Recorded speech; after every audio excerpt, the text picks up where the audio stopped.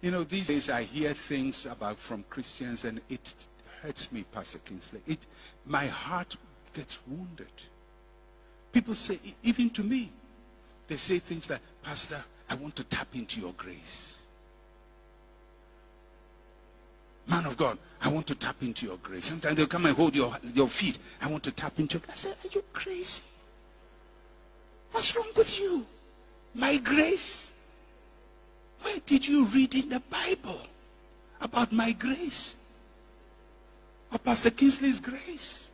It's the grace of our Lord Jesus Christ.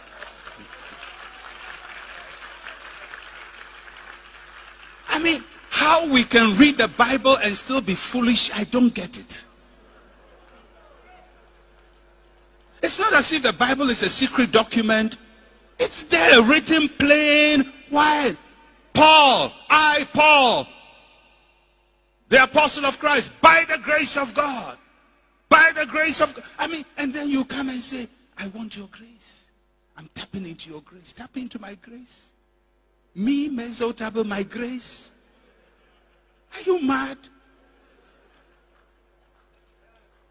When I live by the grace of God and by the grace of the Lord Jesus, if you have to tap into grace, commonsensically go to the source.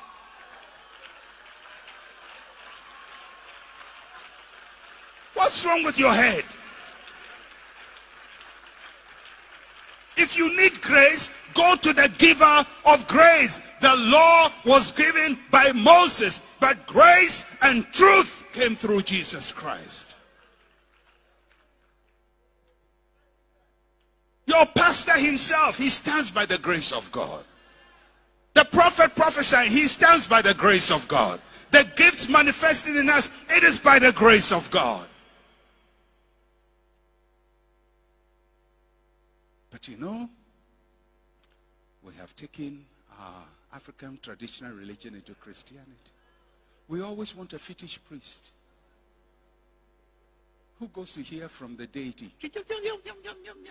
And then Nana said, Menkantremo said. I mean, that is African traditional religion. It is not Christianity. We don't go to hear from God to come and tell people what God is saying. God speaks to each one of us. We all hear the sound from heaven. And the Holy Spirit rested upon each one of them. The fire was upon each one of them. It filled the whole